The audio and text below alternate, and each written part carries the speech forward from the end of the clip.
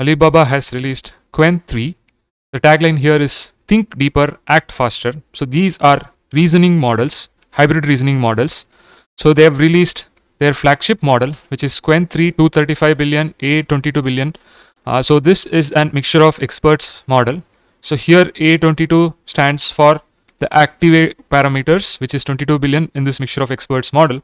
So this achieves competitive results in benchmark evaluations of coding, math, general capabilities when compared to other top tier models such as DeepSeek R1, O1, O3 Mini, Grok 3 and Gemini 2.5 Pro. Additionally, they have also released a small mixture of experts model, which is Qwen 3 30 billion A3B, where it has 3 billion active parameters, which outcomes uh, or out competes their QWQ 32 billion reasoning model. Okay. So here are some benchmarks where they say that this is a model which is competitive with say Gemini 2.5 Pro or OpenAI O1, DeepSeek R1 and OpenAI O3 Mini. So here are the numbers. So let's not go uh, just by benchmarks. We will test it out as well. It's available in Qwen Chat. So we can test this model. Uh, then what do they say over here is that they have open weighted these two models. Okay, so these two models are available as uh, for you to download. Uh, so Qwen 3 235 billion has 235 billion total parameters, 22 billion activated parameters. Qwen 3 30 billion A3B, smaller mixture of experts model, 30 billion uh, total parameters and 3 billion activated parameters okay? And they say that these models have hybrid thinking modes which is hybrid approach to problem solving. They support two modes thinking and non-thinking mode. Thinking mode is the model asks time to reason step by step before delivering the final answer. This is ideal for complex problems that require deeper thought. Non-thinking mode here the model provides quick near instant responses suitable for simpler questions where speed is more important than depth. So with budget when you increase budget for thinking if you see over here uh, in the thinking mode, when you increase the budget for tokens, for thinking tokens, the performance increases across various benchmarks for solving problems. Qwen 3 models also support 119 languages and dialects. So here are the languages and dialects. You can check it out. Now let's go to our Qwen chat and here we can create a new chat. So I created an account uh, with my Google account. Uh, so you can create an account over here and if you say a new chat over here, it basically shows up like this, right? Here you have the thinking mode, you can disable the thinking mode. Here you have a search mode as well. Okay, now let's go into our uh, first problem. So what I'm going to do over here is that I'm going to give a small uh, medical note. Okay, so this is my medical note. I'm going to give a small medical note like this. Okay, where there is a chief complaint and then there is, you know, source and setting, there is a history. So the chief complaint is I got lightheadedness and felt too weak to walk. And then there is a history and other things over here. Based on that, I want a medical diagnosis. So here I'm comparing the thinking mode versus non-thinking mode. So this was the result which I got without thinking enabled. Okay, so it finds out the uh, key clinical features, it finds out lab abnormalities, then it gives top possible diagnosis correctly over here. Okay, so the top possible diagnosis are systemic lupus erythematosus. So it gives that, it gives Sjogren syndrome, it gives overlap connective, it gives all these things, it gives a nice summary of likely diagnosis in a tabular format, it recommends the next step as imaging, PET scan, a biopsy, and other things okay? The difference between thinking and non-thinking is uh, in the thinking mode what i saw is that it gives the same diagnosis okay? Below are the most likely differential diagnosis systemic lupus. Uh, it gives over it gives Sjogren syndrome. It gives lymphoproliferative disorder non-hodgkin lymphoma which is kind of uh, missing over here. It might be present over here but not uh, you know it is present over here but uh, not over here in this this thing. Maybe it is present somewhere over here like this but uh, in the ground truth what i found out was that that was important okay? Um, so it says high priority next step do this to exclude lymph node biopsy to exclude lymphoma. So uh, it says over here urgent need to exclude lymphoma. So in the ground truth that was present. So this was the difference which i saw in thinking versus non-thinking. So the thinking uh, it took close to 38912 tokens budget for thinking and it shows the thoughts over here. Uh, so it says with the combination of this but also lupus markers could this be an overlap syndrome? The way it has you know shown the thinking over here is uh, nice. It's good. Okay? So then i gave a problem for understanding of the physical world where i said we have a book nine eggs a laptop a bottle and a nail. Please tell me how to stack them on top of each other in a stable manner. So this is physically not possible right? Um, so here it says goal is to stack a base layer should be wire fragile item should be supported. So this is actually in the non-thinking mode so eggs, it says, you know, you put it into a container or held together. So physically, it is not really uh, this thing. So it says eggs alone cannot be stacked, but if kept in a this thing, it can be stacked, and then it gives a possible solution. Okay. So final thought is proceed carefully, and other things it gives details. Right. Now the same thing with thinking. what I've seen is with thinking mode is that it generates a lot of back and forth between the, this thing trying to clarify and all those stuff, and then it tries to give you the final solution. So in the thinking mode, uh, it says again, uh, you know, take all these things into account, size, shape, weight, fragility, and then try to do it. So it says why eggs are fragile, so they require a supportive base and careful to prevent this thing. Arrange this thing, gently place the eggs in a 3 by 3 grid.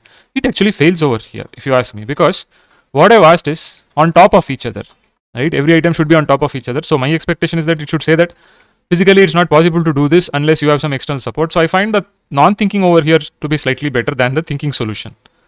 Okay. Uh, so that was my experience over here. I tried out some simple coding. So I said create a Three.js road rash game. I should be able to run it on Chrome browser, non-thinking mode. It generated a code. And then when I run the code, it's literally pointless over here, right? It fails. Then I put it into thinking mode. Okay. And I asked it to uh, generate the code for road rash game. So it said that again, it did all these thinking tokens and then it gave me this one, which is slightly better, but still not good enough. No obstacles, nothing, no scoreboard, nothing over here. So this was a quick coding check. Maybe for other coding problems, this model could do good, but it has kind of failed this road rash test. Okay, Gemini 2.4 nice uh, does a good job over here. Other models like uh, uh, GPT-4o or something does do a good job over here in this kind of a coding problem. Okay, then I tried a multimedia problem, a multimodal problem basically. So I gave this Delhi metro map, complex Delhi metro map. I said I want to navigate from Tikri border to Faridabad old over here. So it's there is an interchange over here at Mandi House, right? There is an interchange over here at Kirti Nagar. So green line, blue line, and then this uh, your violet line. Okay. To my surprise, this model fails in non-thinking mode completely. It just says some green line, go to some yellow line at Inderlok station. It completely confuses it. Okay. So then I put it into thinking mode. And here I found out an interesting thing that you know it says red line rapid metro Gurgaon. It tries to understand the labels over here okay? So let me zoom in a little bit for you. So it says red line is rapid metro Gurgaon. Actually red line is red line. Rapid metro gorgon is a separate thing okay? So it has completely messed up the understanding of this part which is why it goes into a total confusion over here. It says it's confusing and other things and then it is kind of made a mess of everything over here. The only model where i found this delhi metro map for navigation working was gemini 2.5 pro without search it was able to understand the image and give me proper answers but here it's a total failure. Kind of messes up the whole thing okay? And it's not giving a proper answer. Mm, it totally confuses it. It says go to huda city center. Somewhere kind of messes. It says go over here from the green line. No point in that right? Because it's messed up this understanding of this part itself the delhi metro network itself okay? Then i gave it some kind of uh, mathematical problems just to check. So these kind of problems like finding you know this is a spaceship which travels towards a massive planet with a velocity of 0.8 c determine the time dilation.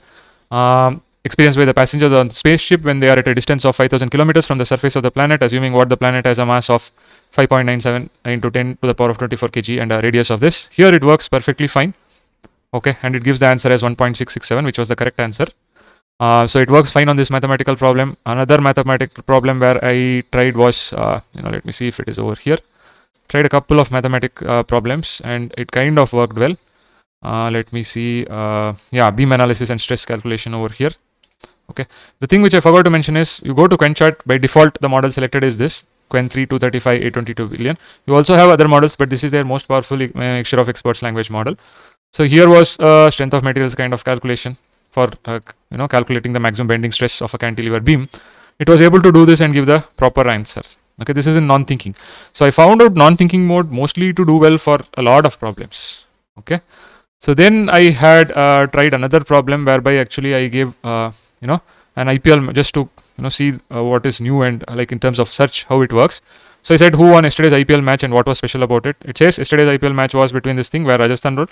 What made this match special was explosive performance by a player who scored 101 of 38 balls. So the summary is very small over here. I was expecting that it says it could say that you know this player was uh, you know a very young player and um, that was the record which was achieved right. So then I asked who was the explosive player and look at the search which it has done. 10 most expensive players in football history. The most explosive player. This is where somewhere the LLM kind of messes up where it's not taking the previous context when searching over here. It's giving it's doing some kind of a search over here okay? But this is one which is relevant. So it says explosive player in the recent IPL match was this fellow Vaibhav Suryavanshi who scored 101 of just 38 balls. Uh, this performance was particularly as he's become the youngest player to score a senior T20 century. So this answer I expected it over here without the follow-up kind of question So still LLMs don't match your expectations on what you are expecting because if I were a human and I asked this question to somebody who has won the match, who saw the match yesterday, probably the reply would be this, right? Uh, so that's kind of, you know, still LLMs have to catch up to that. That's how I look at it. Okay. So these were some of the problems which I tried it out across, you know, different domains, uh, mathematics, coding, a little bit of uh, clinical diagnosis, right? Uh, visual interpretation where it failed over here in this particular use case. So that's my observation always that, you know, benchmarks scores are one thing. Performance on your cases is a different thing. So whether a model works on your cases is totally different. This might be a very good model, but you need to check if it works out for you. Uh, so they they're also talking about some integration with MCP over here, but that feature is currently not present. It was disabled. It is supposed to come over here for agentic capabilities uh, Qwen 3 plus MCP. So when it comes, we can check it out. The other details are present over here in this particular blog. You can check out how they have done their post-training, pre-training and all those stuff. I'll not go into it. So this has been my limited testing of Qwen 3. It's a good model, but whether it works for certain use cases, you need to check out for yourself. Uh, these models are available for download on Hugging Face. Uh, it's available on ModelScope and other uh, places like uh, Kaggle as well. Okay, uh, and it even you know you can use it locally with Ollama LM, Studio MLX and other things. Uh, so what would be of more interest to me is the smaller model, how it performs. So maybe I'll create another video on the smaller model. I'll be able to test it out and maybe create a video on the smaller model to test it out locally. You also have the other models in this family like Qwen 3. These are non-reasoning models, which are Qwen 3 32 billion, Qwen 3 14 billion, Qwen 3 8 billion, Qwen 3 4 billion, Qwen 3 1.7, and even a smaller. And all the models are open weight models under Apache 2.0 license, which means you can use it for commercial purposes, which is excellent. Hope this video was useful. See you in another video.